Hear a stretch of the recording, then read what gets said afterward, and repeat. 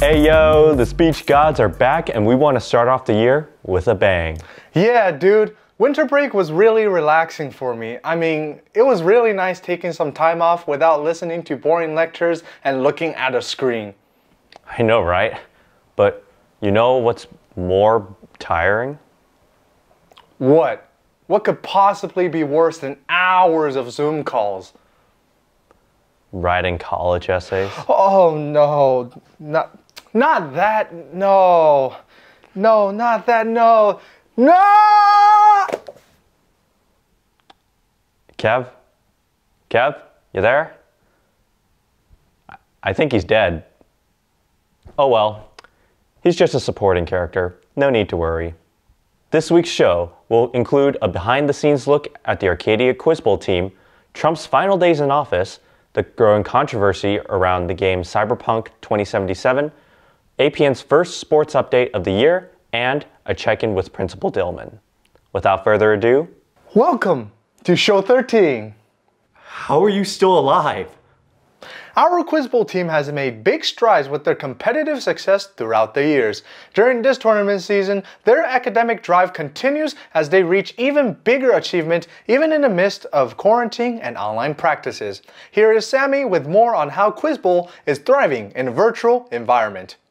Our Quiz Bowl team has made big strides throughout the years in their competitions with always placing top in the rankings. This year proves to be no different, despite the virtual setting. Let's go behind the scenes to see how they have adapted. Quiz Bowl is a form of academic competition, and you can be describing it as Jeopardy with teams. So basically, we can buzz in on many different categories ranging from history, science, literature, uh, pop culture, and current events. Despite the pandemic changing the lives of everyone in school, Quiz Bowl has still managed to meet through Discord. Discord lets them continue having practice matches and to play against other teams. A big aspect of Quiz Bowl is the face-to-face interaction you have with your teammates and the other team, and that's kind of lost online when you're staring at a screen. But we've managed to make the most of it, and we've been hosting our practices at regular intervals, and we've been competing at regular intervals, even though tournament competitions do tend to be kind of um, they take longer online. Even with the challenges that Quiz Bowl faced in 2020, they were still able to perform at their best. During that time, they were able to get number one in the Grover rankings and were also placed number one in the nation. So it's a great feeling to always to win, of course. Um, we've been having a good team synergy. Uh, like our teamwork has been spot on, and we've all been contributing, and that's led us to win some big games and tournaments. This has been Sammy reporting for APN. Let's head back over to Lawrence and Kevin. What do the finest minds on Quiz Bowl and successful SAT takers have in common? Simple dedicated studying and practice sessions.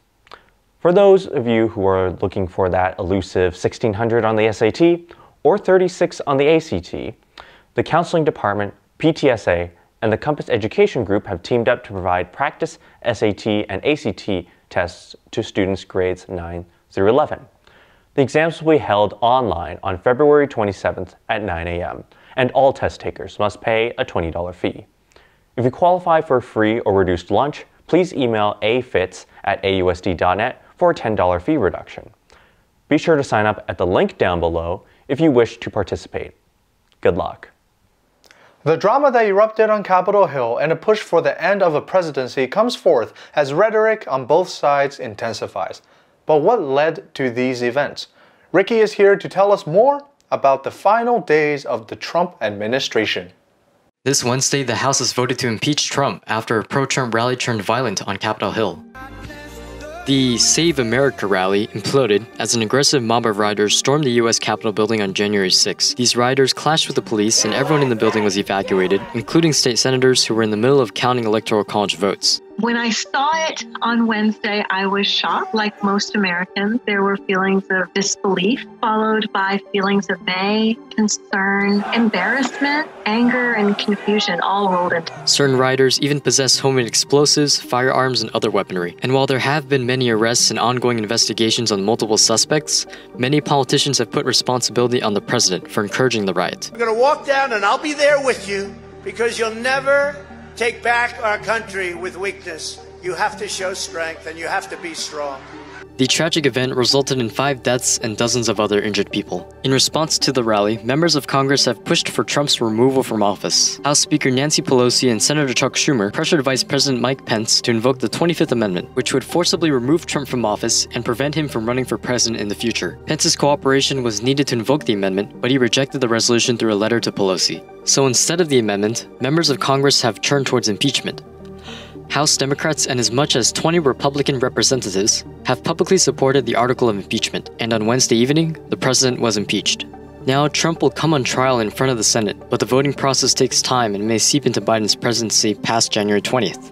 Regardless, the future of our country will be handed to the next president, but what occurred the past few years will not be forgotten.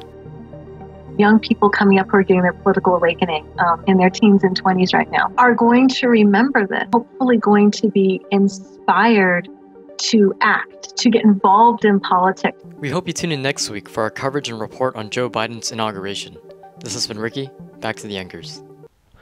A new era of politics is being ushered in with the Trump administration's end.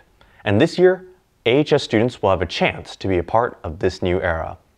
The Arcadia PTA is currently taking applications from juniors and seniors who wish to be a student representative for Arcadia at the 2021 California PTA Legislation Conference.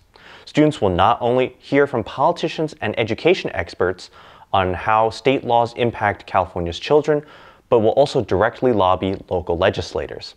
To apply, please go to the link on your screen. Submissions are due by January 17th. Hey, uh, Lawrence, did you write anything for the break segment? I, I do not see any text on there. I think you really screwed up, man. What do you mean? This is the joke for the break segment.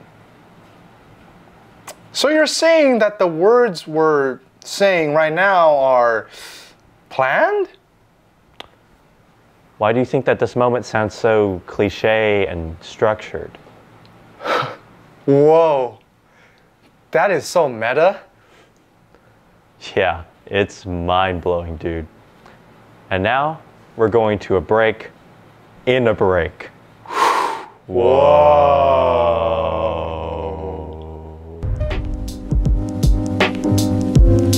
My New Year's resolution is better time management. To study an hour a day for each of my classes. To be more patient. Trying to work on my time management skills. To do something with my hair, whether it's cutting or dyeing it. To manage my screen time better. To be more productive and listen to more music. To sleep more. To stop procrastinating. To sleep earlier. It is currently 3:17. To start waking up earlier. To eat more fried chicken. Arguably the biggest game release in recent memory, CD Projekt Red's Cyberpunk 2077 has had a very rocky launch with bugs and glitches galore.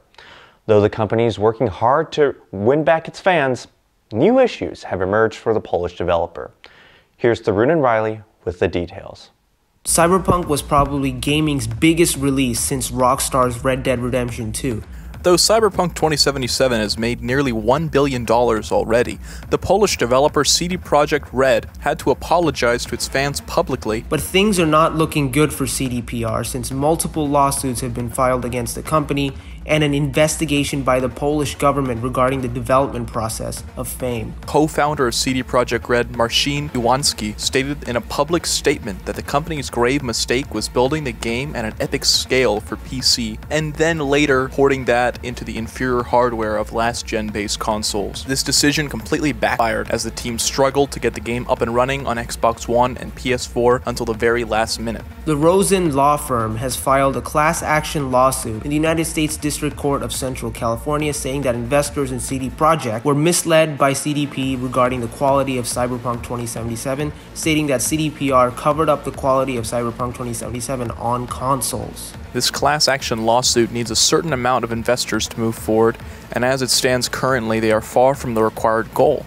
Yet, CDPR isn't out of hot water just yet, as the Polish government's Office of Competition and Consumer Protection has opened up an investigation into CDPR and their potential fraudulent business practices. CDPR is hard at work as the development team is setting out to release the first major patch within 10 days, followed by another major patch on February. In addition to that, planned free DLCs that were going to be added to the game will be released once the game has been patched for all platforms. Well, this has been Tharun and Riley reporting for Apache News. Even though Cyberpunk may be tainted with scandals, there is still content from APN to keep you busy, in the form of God AFK's fourth show. On this week's edition of APN's gaming show, I discussed the new episode 2 of Valorant, the removal of the PogChamp emote, and Riot's plans for season 2021. While you're at it, go listen to APN's Waveform, now available on Spotify, Apple Podcasts, and other major podcast platforms. This week, it'll be covering a wild 2020 year in review, so check it out when it releases at 3 p.m. today. Even though 2021 has just begun, the sports season is in full swing, and athletes are still out there playing hard and winning games. Ian and Harrison are here to bring us up to date on the NFL, the NCAA, and why Los Angeles has been in the headlines recently. Last weekend marked the beginning of the NFL playoffs as 14 teams looked to bring home the Lombardi Trophy. We also simultaneously crowned another national champion. Let's review last weekend. Early Saturday morning, the Buffalo Bills took down the Indianapolis Colts in a close game thanks to great performances from Stefon Diggs and Josh Allen. A few hours later, our very own Rams handled the division rival Seahawks 30 to 20 in a win almost nobody expected. Jalen Ramsey locked down DK Metcalf once again, and the Rams' strong defensive show proved why they are number one in the league.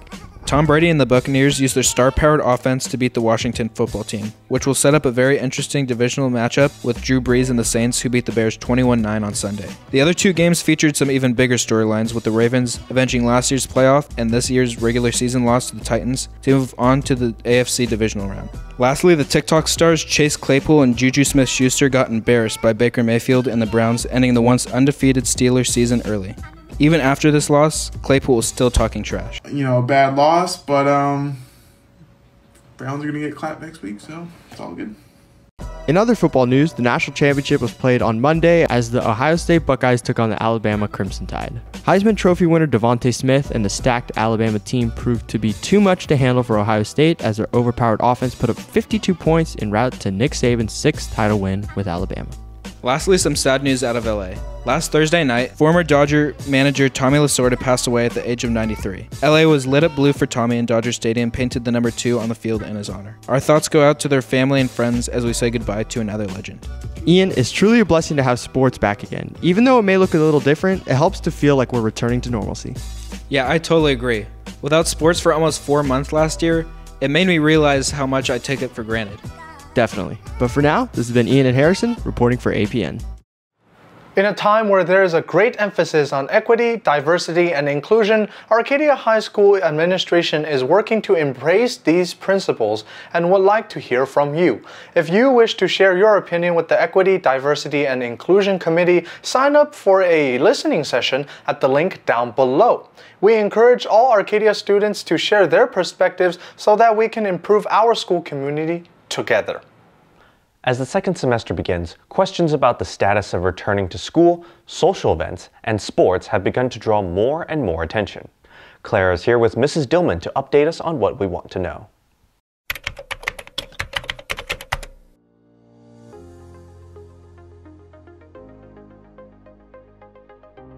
I think that there's there's an idea that we have information like secret information that the general public doesn't have and that's just not the case. What we have seen is as the situation of covid changes so do the rules for schools and all of society. So right now we're just governed by what the county health department allows and we feel like we're doing everything that we're allowed to do if we are able to start bringing groups of students back which is not in the foreseeable future there's no you know rule change that would allow us to do that yet. I do hope that the freshmen can even take their like link crew orientation tour before before we go on summer break. Again like i don't know how likely that will be. I know that asb and the senior class they're they're looking at activities. We've uh, I know that they asked if they could do a drive in, and then the cases kept going up and it wasn't safe, and then there was a stay at home order. I think that they're really trying to do everything they can within, you know, with what's safe. Things like graduation, we feel like we have a little bit more flexibility and guidance there. Right now, the best we could do is think about something in small groups that we could film, but we're thinking as much outside of the box as we can. And we traditionally have graduation at the racetrack, which I think is what everyone's been looking forward to. Um, and we are working with the racetrack to see if we can still use the facility. And yes, we can. Normally, we start planning for graduation in December and January, and they said, let's push it till March because maybe then we'll have a better idea. All we can do is if we all do everything in our power to follow the rules and help make those cases come down, that's the only way we're going to have any of this stuff is if the cases go down and, and the stay at home order lifts and things get a little bit more flexible. Thank you. I'll be tuning in on Friday like every Friday.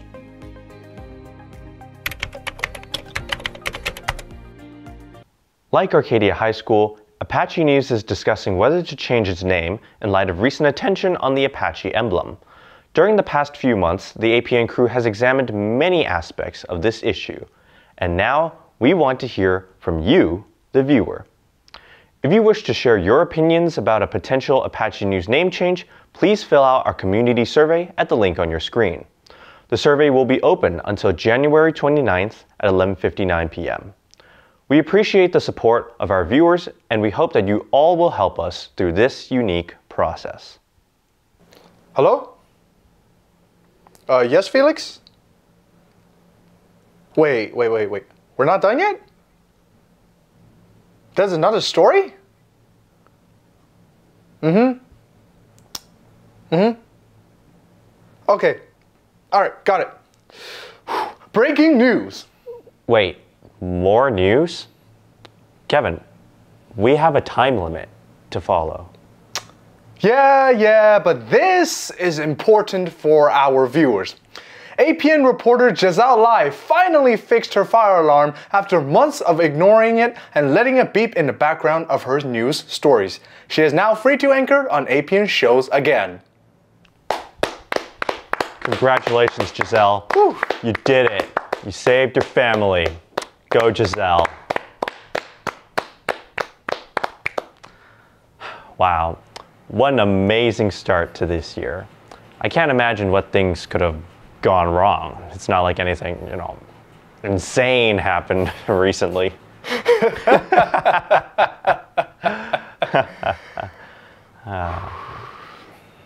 Thank you for watching this week's show. Make sure to watch God AFK's recent episode and go check out Season 2, Chapter 3 of APN's Waveform at 3 p.m. today. This has been Lawrence. And this has been Kevin. Stay safe, stay strong, and Happy New Year!